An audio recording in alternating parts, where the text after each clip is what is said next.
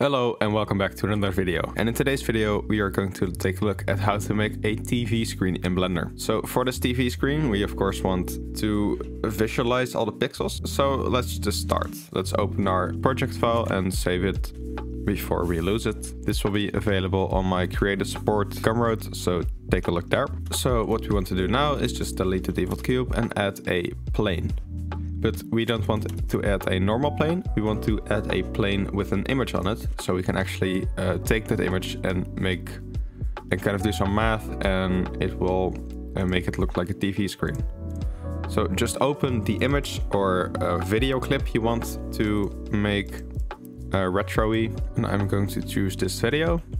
I'm just going to scale it up um, so it's 2 by 2 And if we go to rendered view, we can uh, see the video. And if we play, it plays the video. So now we want to go to the shader editor and just change this to TV screen. And we have this MP4 file, which is basically just an image file, but it's set to movie instead of image. And uh, you have all the frames there, so you can match the frames. You can set this to uh, 843, and now it's uh, as long as the video itself. So what we want to do now is just add a texture coordinate node and place it behind and grab the generated coordinate and plug it into the vector. This will uh, do nothing for the for the image, but it's useful for later. And we also want to add a emission shader. Screens are obviously emissive, so now we can see the video a little bit better. And now we can start with the pixels. So first you want to grab this and do a separate xyz. Then you want to grab the x coordinate and multiply. And you want to multiply this by around 100. So not 1000, but 100. And then we want to add a modulo math node and just change this to uh, 1. Then we want to add three color ramp nodes and we are going to set these to constant. And for the first one, we just want to gra grab this slider and um, invert this. So the slider is at zero, the white slider, and then we want to grab the black slider and place it at one divided by three. If you didn't know, you can actually do math here, and you can do it basically everywhere in Blender. For the second one, we want to do the white by 1 divided by 3. And the black, we want to set this at 2 divided by 3.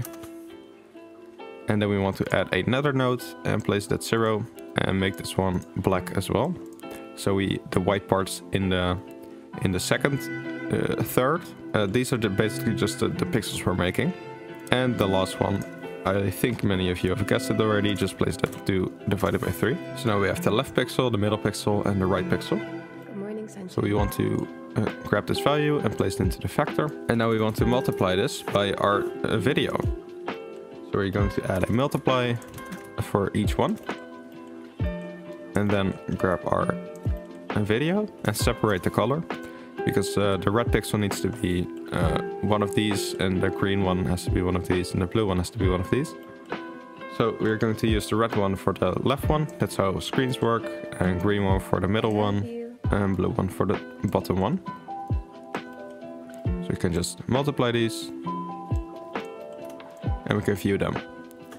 So the red pixels are left, the blue pixels are middle, and the green pixels are on the right. And now we just want to do a simple combine color to get all the values for the red, green and blue. And if we now view this, we can see this pattern appear, which is just computer pixels. And to change the resolution, you can just change the value here.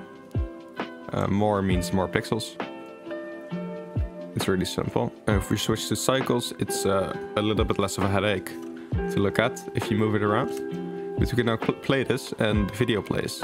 So this is the basic screen material. And this will be available on my Gumroad again. And we can just change the, the strength um, to make it a little bit brighter.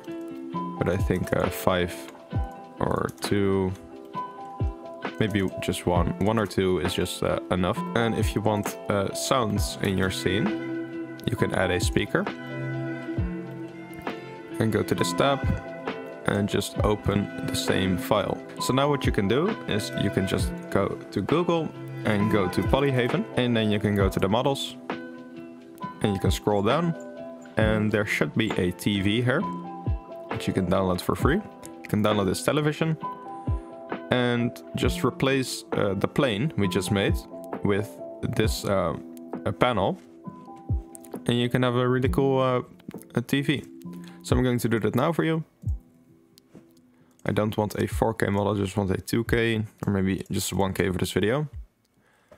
Uh, so this will not be in the project file, of course, but you can just download this yourself. We have this TV model. You can just grab this front panel, go into the uh, material properties, add a new one, and just add our TV screen and assign this. And then go over the UV editor and just unwrap this and scale to bounds. And then if you plug it into the UV, you have the uh, video right here. You can just scale it around so now it's, it is stretch, but it uh, kind of adds to the retro look, of course. So I hope this helps. And if you if this video helped you, you can leave a like and subscribe and I will see you next time.